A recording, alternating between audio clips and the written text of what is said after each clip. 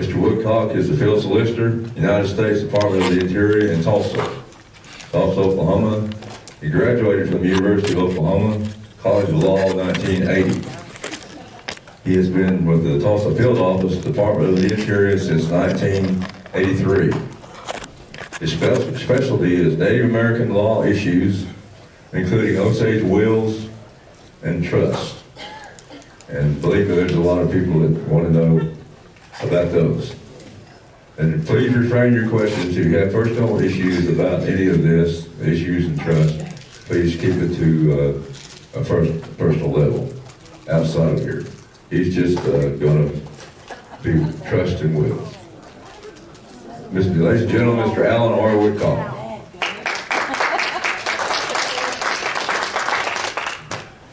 Thank you. Um, I'm Alan Woodcock. I'm the field with the Department of the Interior, which means that we are the attorneys that represent the department. I have uh, three disclaimers I'd like to make before I start. First, that uh, I am speaking today on my own capacity. I'm not speaking for the federal government.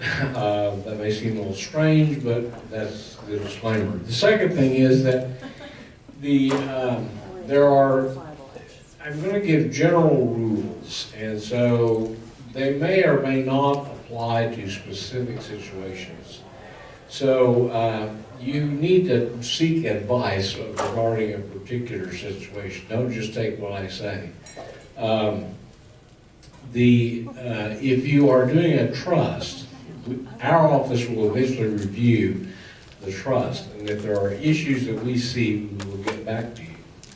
Uh, under the terms of the regulations, you can ask for the solicitor's office to review a will when it's, when it's executed, before the person dies. So you can ask for us to review a will, we will get back to you if we see any problems with it. That doesn't count as a formal will we can do that. The other thing I'd like to say is, unlike the previous speaker, I'm not going to tell a joke. Um, I have to get permission to speak, and uh, one of the conditions is that I don't tell jokes. Uh, That's because I tell jokes so poorly. So, uh, if I say something that seems mildly amusing, I would appreciate if you would not laugh, because you'll get me in trouble. All right. Uh, I'm going to start off with wills, uh, then I'll get to trust. These are both methods for uh, transferring your property, your restricted Osage property, land, uh, IM accounts, or head rights, uh, to whoever you want to go to after your death. Um, So, the first, the first uh, way of doing it is with a will. Those wills have to be executed in conformity with the laws of the state of execution. So, if you are a resident of Oklahoma, you get the will, you execute the will of course with law of Oklahoma. If you're a resident of Minnesota, you get it done under the laws of the state of Minnesota. We adopt those foreign rules for purposes of execution. For purposes of, uh, for purposes of interpretation, we use Oklahoma law. Um, Oklahoma law requires two witnesses. They have to be disinterested witnesses, that is, they cannot take an interest under the will, so they have to be disinterested. Um, There can be a self-proven statement which is attached to it, which eliminates the need to try to call witnesses when you're doing the probate. Um, My advice is, on doing a will, is to, one, either get a private lawyer to help you execute a will, or send the will in to us for review before, before you die, so that we can, we can get back to you if there's any, any problems. Um, There are some special rules about Osage wills. Uh, and these rules are the same with the trust as well. Special rules. First, um, you can give a non-Osage only a life estate. You can't give them anything more than the life estate. So uh, typically, we will see a will which leaves a spouse, a non-Osage spouse, a life estate. So that's the most that you can give them. A life estate is an estate that lasts solely for that person's lifetime. So it terminates upon their death. Um, the, if you have designated someone to receive the interest after death, that person will get the head right automatically. If you not designate someone, if you just said children of, heirs of, then, then the state court has to decide who those people are. But generally, one life estate in non-Osage. Um, along that line, the BIA needs to know when that life tenant dies. So family members or whatever need to let the BIA know when they die because we don't have any real way of checking up on that. So that's the thing. You can give as many life estates, not, you excuse me, you give as many not, let me try this again. You can give as many Osage life estates as you want, subject to the rule against perpetuities, which is remote vesting, but I won't get into that. But basically, you can give several non, me, several Osage life states, But at the point that a non-Osage gets into the mix, they can only be a life state, and then after that has the best absolutely in an Osage. So if you give it to your spouse, your non-Osage spouse for life, the remainder then has the best in people who are Osage descent, your children or, or something like that. Now, it doesn't, if- you're executing a will, doesn't have to be your children, it doesn't actually have to be your spouse, but those are the, those are the ones we normally see. Um, You cannot give in a will, you cannot give it to a testamentary trust unless you follow the requirements of the testamentary trust. And that is that uh, the secretary has to be named as a trustee. And um, again, the beneficiaries have to be, you, you can't have a non-Osage taking it in fee. So the thing is, if you execute a will and leave it to a testamentary trust, you really need to get us to look at it before, before you, before you rely on it, because it may be invalid. Um, The, um, the, the, us looking at the will does not count for the formal will approval process. We look at it, we approve it as to form, but it doesn't count as to the formal will approval process. Now, the, um,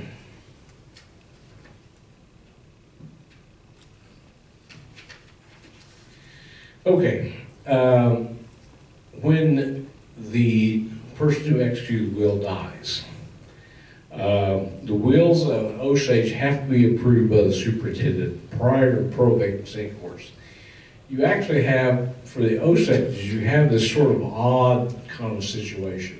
Um, The will approval process is done by the superintendent, and that uh, will approval decision is binding on the um, state court for, for purposes of probate.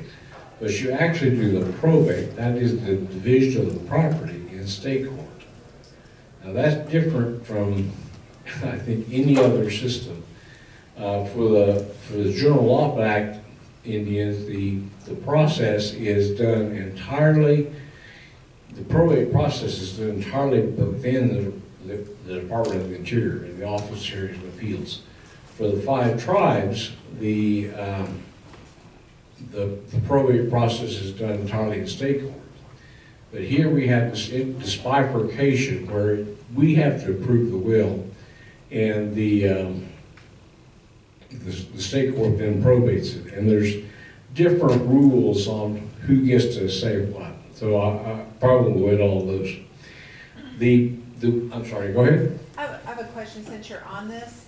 Um, my name is Margo Gray and I'm, I'm a Osage Minerals Council, uh, member. And one of the questions we get a lot from, not so much of the people that live in Osage County or maybe in the Tulsa area, but it's outside of, um, um, somewhere like in the state. But, and if their family member has a will here, um, you know, they, we get a lot of questions, and we, we, you know, we just send them over the superintendent's office, because we don't have a solicitor in, in-house over at uh, Osage. But the question is, is how long does it take for that will, say if ever, all the paperwork is in order, we send it to your office, what is the time frame for turnaround? Just, just a, For our will approve process, the time frame. First you have to file the, the, Right. the petition and go with the superintendent's office. They set it down for hearing. They, they publish a notice and they generally set down for hearing, say within thirty days. just to get a will approved? Yeah, well, Okay. that will be the will approval proceeding. And I or someone in my office will conduct the will approval proceeding. And we're assuming there's no contest, there's no, you know, no, no objection to the will itself. We will conduct the hearing, we wait for the, a copy of the transcript. We get a copy of the transcript, and we will do a recommendation to superintendent and draft order. And I'm gonna say that probably takes about two to three weeks. We will get back to the superintendent, the superintendent will make a decision. Um, Then, as soon as that, as soon as that's done, then the person can take the will to the state court for the probate. So, if, if all goes well, two months.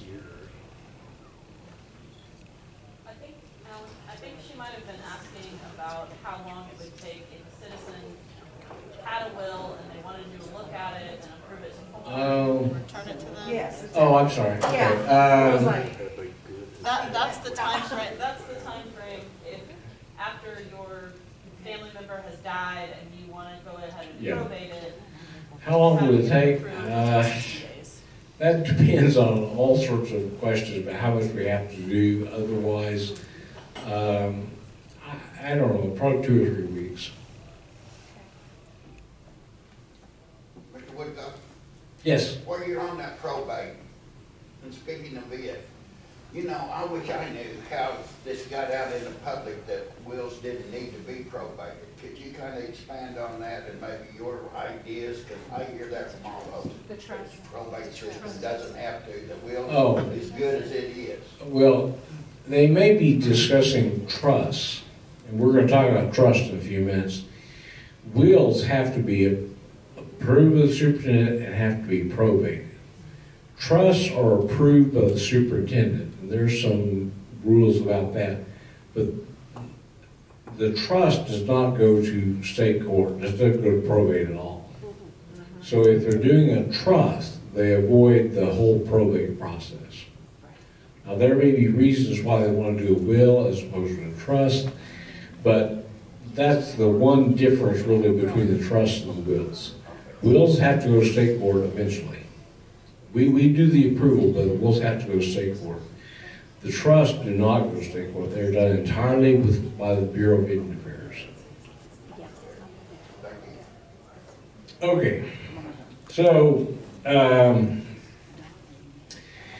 the will approval process in the in the department here is initiated by a petition that's filed by a family member or by an attorney for the family. It, it comes our, it comes to our office, um, the, the Osage agency will set it down for hearing, generally within thirty days, depending on when it comes in. They publish notice, there has to be a, a publication in the newspaper, and the, the agency will arrange for that publication. We then conduct a will approval hearing. Um, We can do that in conformity with the regulations, evidence, uh, may be introduced as to the validity of the will. Uh, we use the rules of the state of Oklahoma. There can be, we give notice to the the beneficiaries listed in the will and to any Osage, any heirs, that have to be uh, Osage, but any heirs under the intestate statute. That would generally be wife and children. Uh, if there are no wife, no spouses, sorry, no spouses or children, then, um, there may be brothers, sisters, aunts, uncles, cousins, we give notice to all those people, and any of those people have the right to come in and do a contest. They can actually contest the validity of the will. We will then conduct a hearing, and it will take a while. We will conduct a hearing on the validity of that, we'll make a decision. We will make a recommendation, to superintendent makes the decision.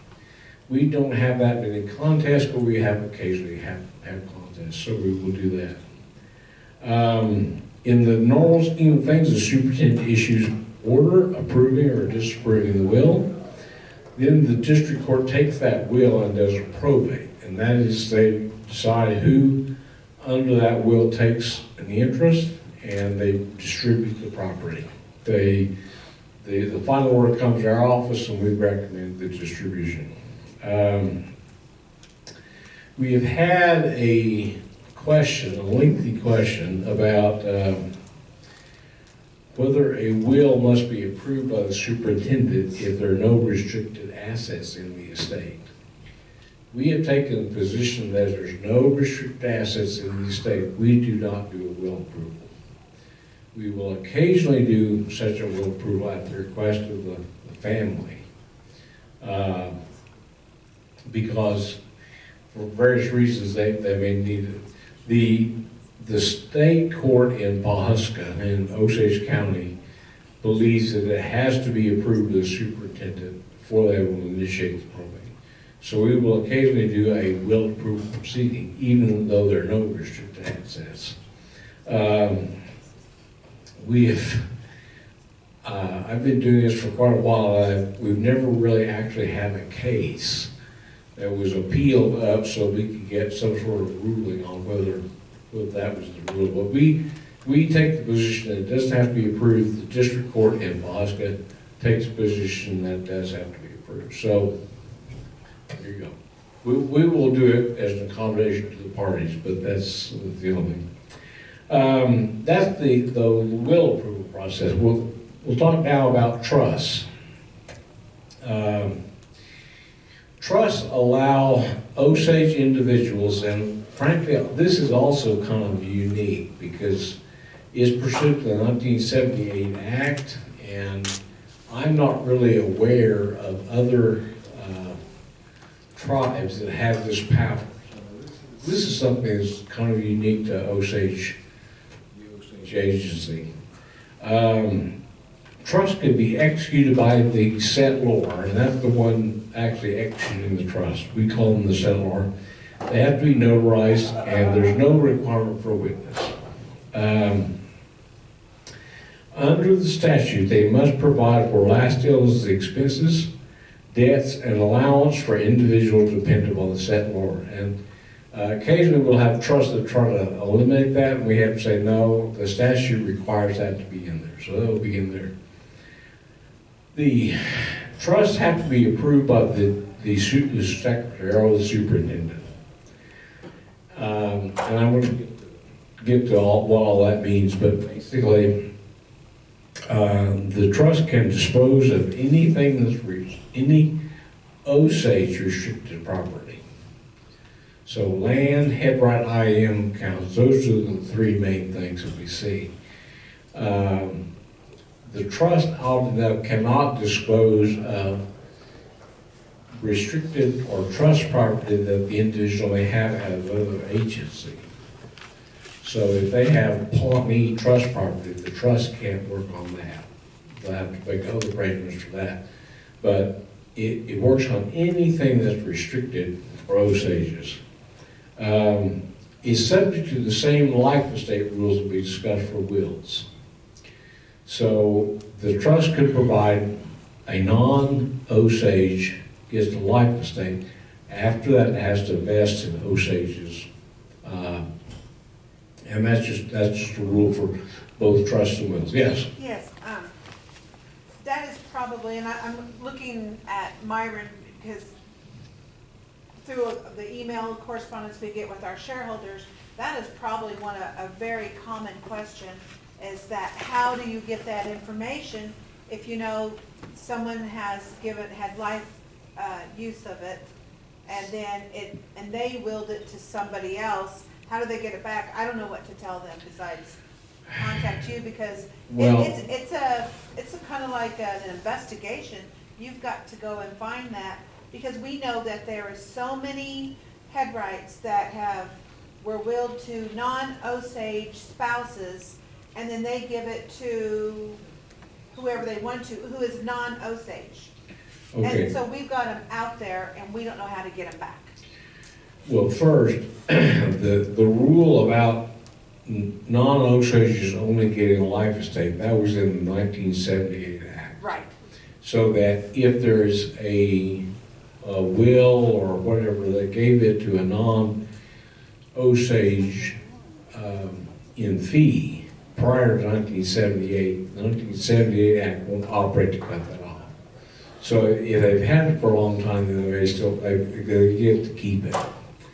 The, um, the, the question may be, how do you, if, if, if the person has a life estate, they don't have technically the power to leave it to somebody else, because it terminates at their death. They don't have the power to transfer it, they don't have the power to, um, leave it in a will to somebody else. How do you know? Well, that's the hard part. If the, if the family knows the life tenant has died, then the family needs to contact the agency because they will terminate the, the head right payments. Um, And then where does that head right go? well, it, it goes however, however the trust provided after life estate. So, for example, a, a trust that we see a lot, uh, or will, that says, uh, life estate to my spouse, then re- remainder to my children, A, B, and C. Right. Okay, well, that's simple. Once the spouse dies, then we terminate the, the, the money going to the, to the spouse, and we distribute it to A, B, and C. The, the problem is, particularly with a will, where they give the life estate to the spouse, and then remainder to my children who are alive at her death.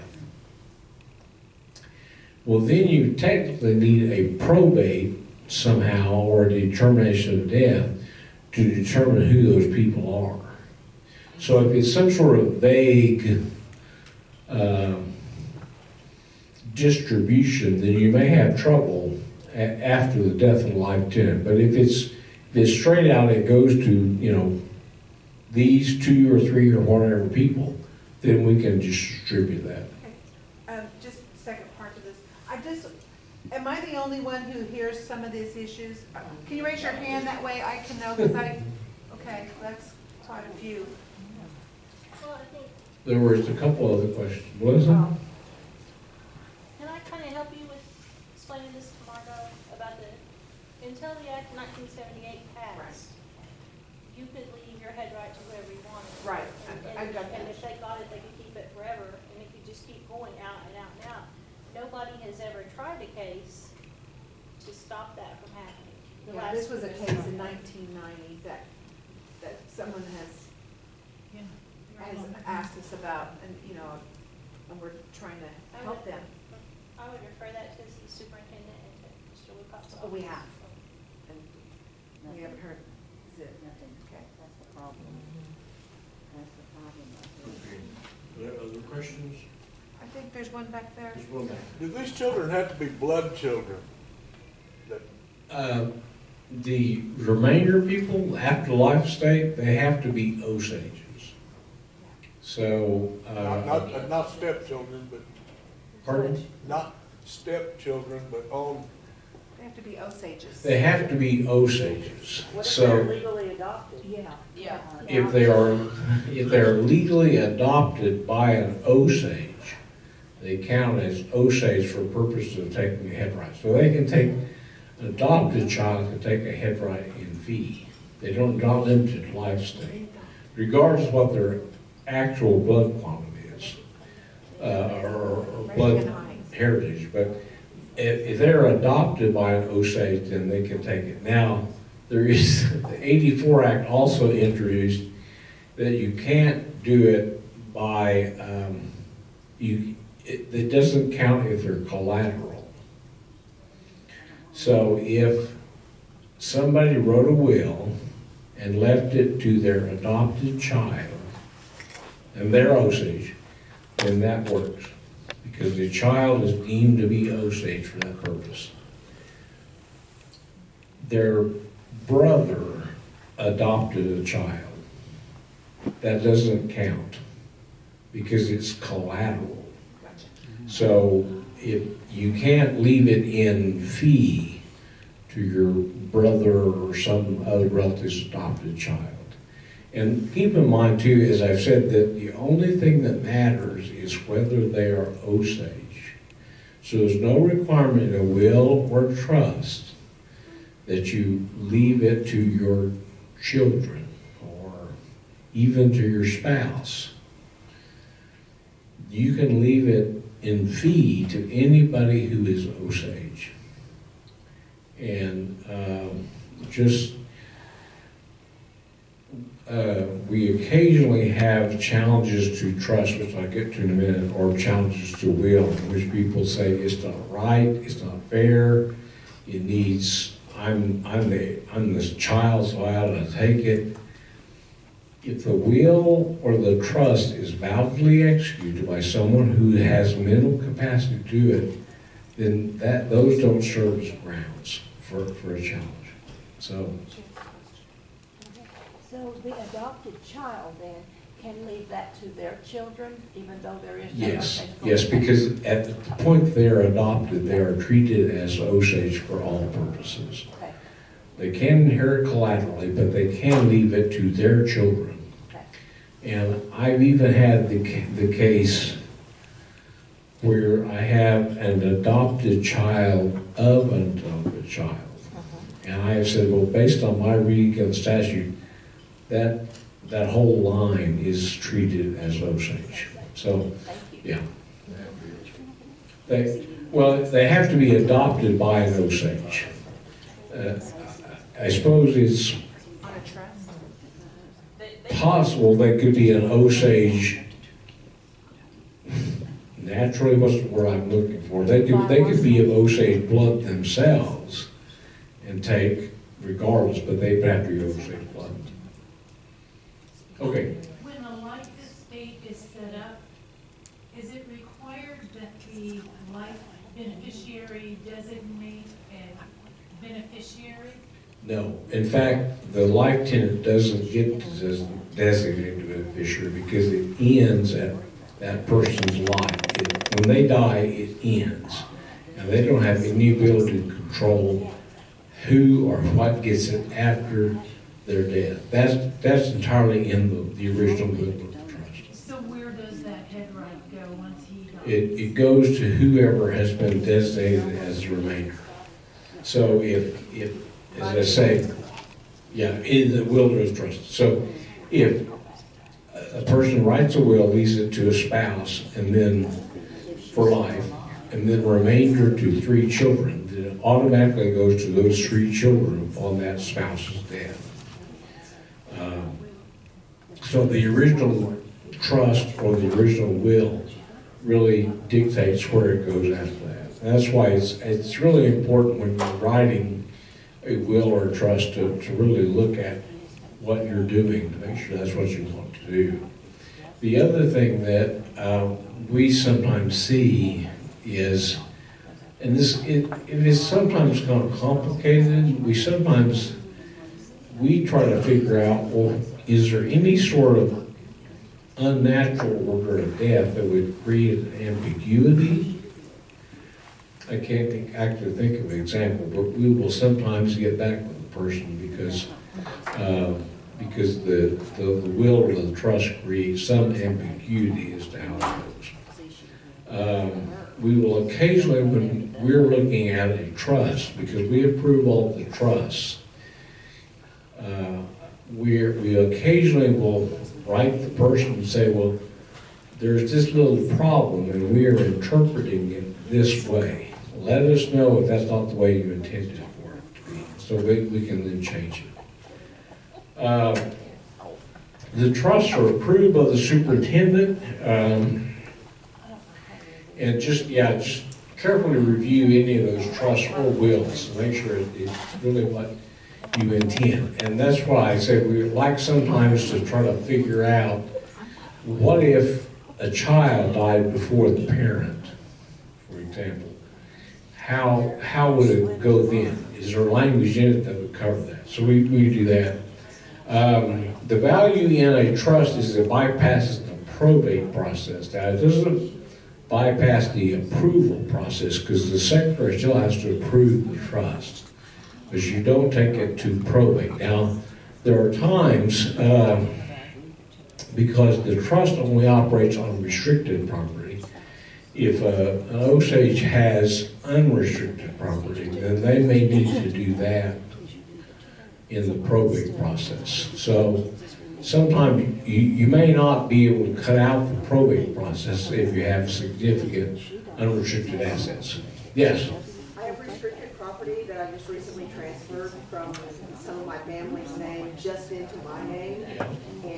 And it was my understanding that it's restricted, it's all dealt with in the trust and it's dealt with through the bureau and everything. Come to find out, I need to go and file it through Osage County, because if something were to happen to me, yeah, we have the paperwork saying it goes to my heirs and my two sons, but somebody else could come in and, and cause some trouble, so I had to go and get title up on the hill through Wendy or someone. that- was that And have them restricted? process it and, and put that, put that. That was restricted my- land? Restricted land, three Yeah. acres. Yeah, the, the Bureau has control, complete control of the head right in the IIM account. It's restricted land that you may have to file something in the county records. You that do, and I transfer. didn't know that, and it said needed in my mother, and none of us knew. Yeah. So, make sure you cross all the T's and all that stuff. Yeah, Okay, um, for trust, there is a requirement, it's sort of related to the the right to challenge a will, because everybody who's disappointed by the will has the right to file a challenge to the will. You also have the right to file a challenge to the trust. Um, That is pursuant to an I, a tier board of Indian appeals case many years ago. So what happens is that when we, uh, recommend approval of a trust to the superintendent. We write the individual and we say, we let them know that there is the, that heirs and beneficiaries have the right to challenge the trust. And we tell them that they can either do it now, you know, while they're still alive, or they can wait till after their death. And we say, as a default, if we don't hear back from you, we will assume that you want to wait till after your death. Uh, It can be done either way. And I, I don't know that I've actually had many cases in which they wanted it done they're alive. But I, I think in some respects, particularly if it's this, what I refer to as the standard sort of distribution, um, you know, life estate to the spouse, remainder to the children. I, I, I see no reason why you wouldn't go ahead and do that while you're still alive, just, just to cut out that process after the death. But that's something that the individual gets to decide. We, we send, not we, the superintendent sends out a notice to all the heirs telling, and beneficiaries, telling they have a right to challenge the trust. Um, and gives them a 30-day window to, to write back. If someone challenges the trust, then we look at what they've done, what they've said. We may contact the beneficiaries of the trust, because normally a challenge is going to come from someone who is an intestate heir, who would take it if, if there was no trust. Uh, the beneficiaries have the right to know that there's been that challenge and what the allegations are. So we so will will contact the the beneficiaries of the trust with that challenge. We then do a recommendation on that challenge to the superintendent. The superintendent uh, makes a decision, and then then they have the right to appeal it up, up administratively. Yes.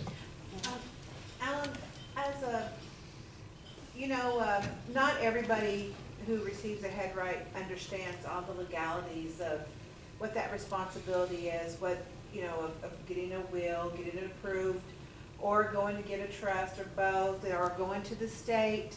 And as shareholders, um, you know, when we speak to them, um, I don't have all these answers.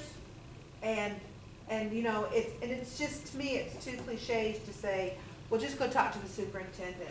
And I think that, um, I think sometimes in speaking up, and I also believe that there's a responsibility, um, and I appreciate you being here, the responsibility that there needs to be like, maybe a, a, a handbook of what happens when you become, um, you know, a shareholder. What, what those rights are, what would be a responsibility of, uh, you know, uh, we have Lacey who does our trust in our office, if you all don't know, please stop by our office. Um, but the other is, you're, you're giving us a lot of information, and I mean, if we had a PowerPoint maybe, but I think maybe a handbook of, to show the process would be really advantageous to our, to the Osage, because like you said, we're, we're not the five civilized tribes. We're, we're Osage and we are unique to ourselves of how we were set up and exactly with all the nineteen oh six amendments and, um, for the, you know, um, the millennial generation that will become shareholders, I can guarantee you, if they don't have it on the internet or their phone or something, it, it's gonna be, it's gonna be lost. And, you know, and, um, um, you know, even myself, I know that I need to be taking care of, um, you know, some of these things, you know, of course, you, you don't ever think you're gonna die, but, I mean, I do have will. I just haven't done my trust, and I'm in the office, so I should just, you know, tell Lacey, let's do this. But you know what? But I don't know all the other things about, um, because we really hear a lot from, um, outside, uh, of the county of what, what's the process? And you're giving us a ton of information in a short time, and I appreciate it, I want you to know that. Um, I guess we have not really thought about doing a handbook. Um, But is, is it, to me, it's a, a responsibility of the federal government to say, an obligation, mm-hmm. I would feel.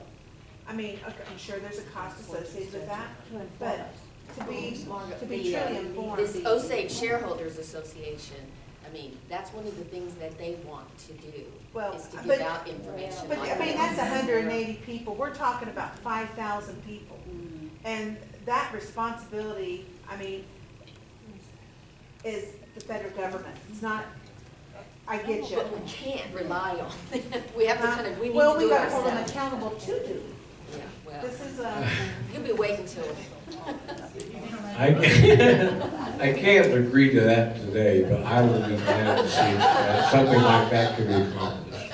A I will- I checklist will- or something. I'll tell you what I'll do, um, I will put this as an agenda item, um, for the, uh, Minerals Council, because this is our obligation, um, to our shareholders, that's what we're elected to do, and so, I'm glad you brought this up.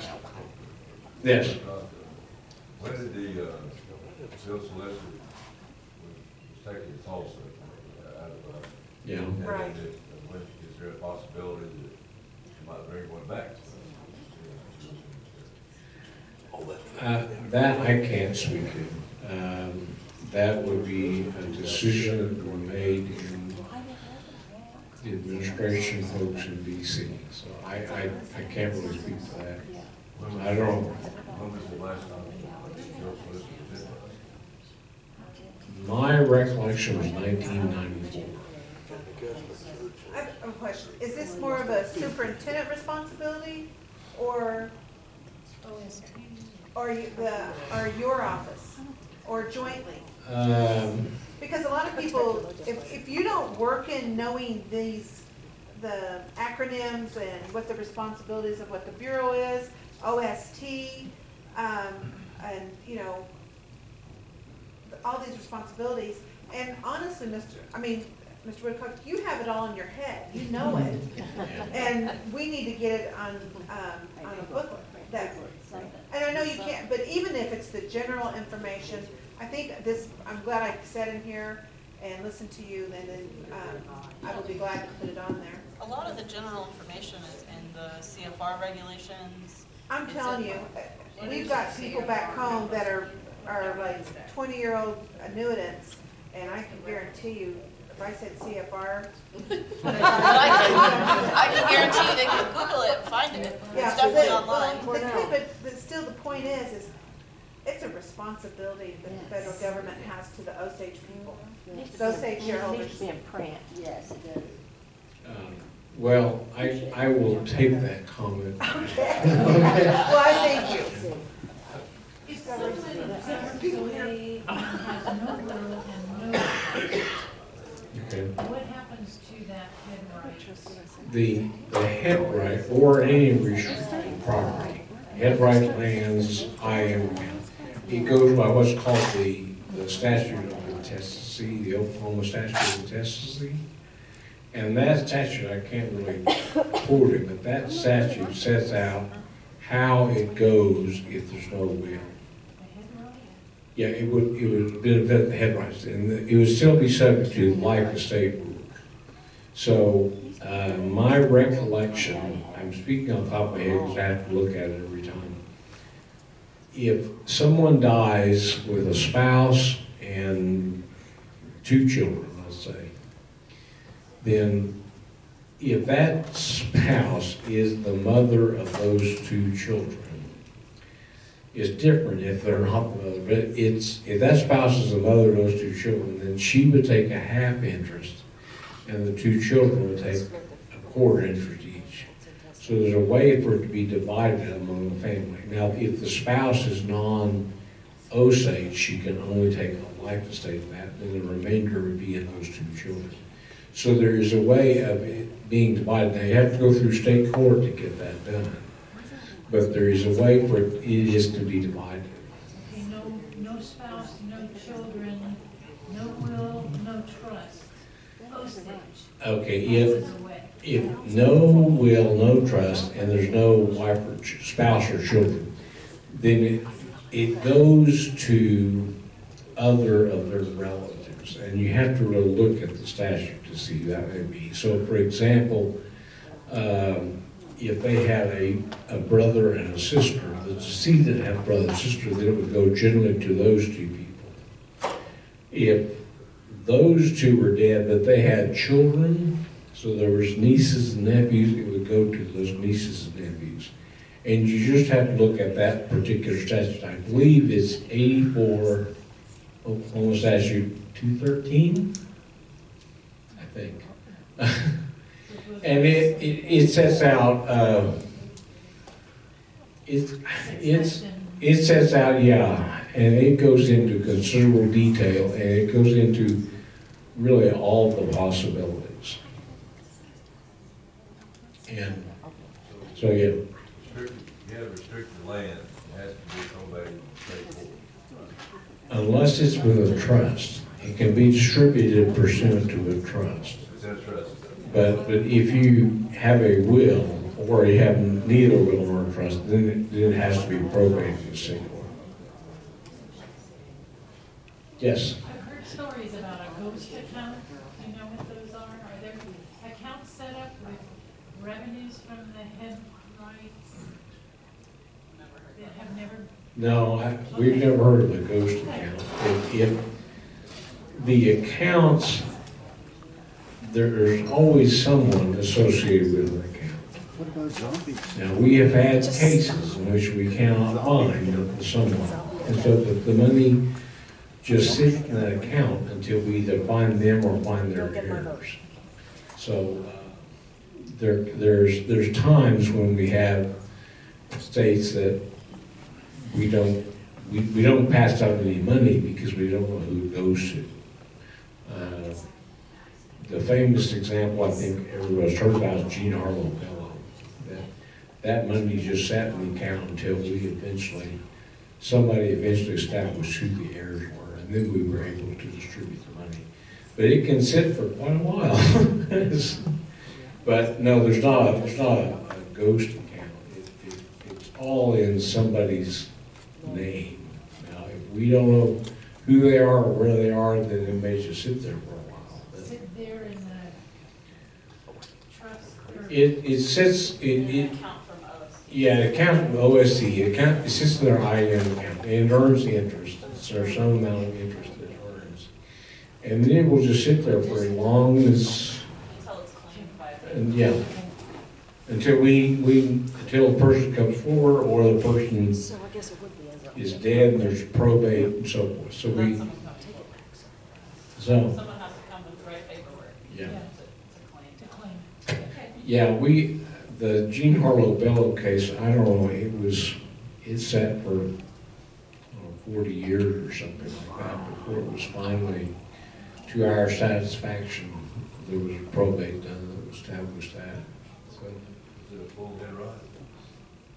No, no, it was a, it was a really tiny headright, but because it had been sitting for so long and generating income and interest, it, was- it turned out to be a, a fair amount of money, but the head right itself was pretty small. So, um, okay, so if we do a trust, there is, and there's a challenge to the trust, and we actually look at what's been submitted. We look at any response they file, and then we make a recommendation to the superintendent. She will make the final decision. She doesn't have to follow what we say, but she will make the final decision. At that point, there can be an appeal. The appeal then is to the regional director in Muskogee. And if you're still unsatisfied, then you can go to the Interior Board of Indian Appeals. And if you're still unsatisfied, you can take it to federal court. Um, That's a little different than the will approval process. When the superintendent makes a will approval, any appeal goes straight to the IBIA. It bypasses the regional director, goes straight to the IBIA, and then if they're still unhappy, then it can go to the uh, federal court.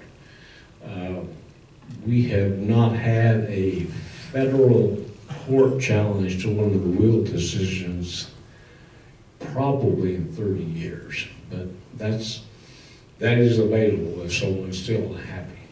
Um, Let's see. um,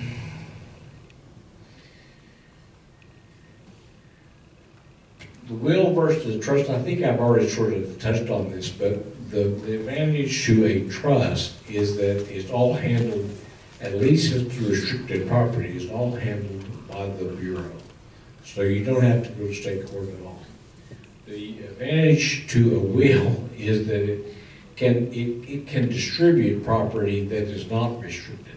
And a trust can't do that. So if you have unrestricted property in the estate, you'll have to figure out how to do that. Um, Both the will and the trust have a, uh, have a challenge process. The trust approval, or the trust appeal process is somewhat longer because you have an extra step in there. But uh, with either of them, you're still not satisfied, you go to federal court. Um, And with either, of the- with either of these processes, there's no way that you can keep your beneficiaries from knowing what you're doing. So uh, you may, you can keep it secret until you die, but after you die, then, then the, the disappointed kids are gonna know. So, uh, that is, uh, that's what I have to say about wills and trusts. Uh, Again, we, we, we will make a decision about approving a, a will. We can, we can let, we can, we can review those while the person's alive. We will review all the trust anyway. So, yes, If a person has their own trust outside of the federal government format, is that? no, it won't work. If, the- if the trust is, if you have done a private trust, the superintendent still has to approve that. And we occasionally have people who will do a private trust, not using our form. We will review that, as long as it meets the, the requirements. The superintendent is named as the trustee, and follows the rules about life estates and whatnot, then we can approve that. We've had, in my experience, we've had one or two not like that. We had one in which they created sort of two separate trusts in the same document, and all the restricted property went pursuant to one trust in which the superintendent was named as the trustee, and otherwise complied with the statute, so we were able to do that. It's just that if you're gonna do that kind of more complicated thing, you probably ought to talk to us about it first. Okay, I think we're out of time. Thank you. Thanks, Dean.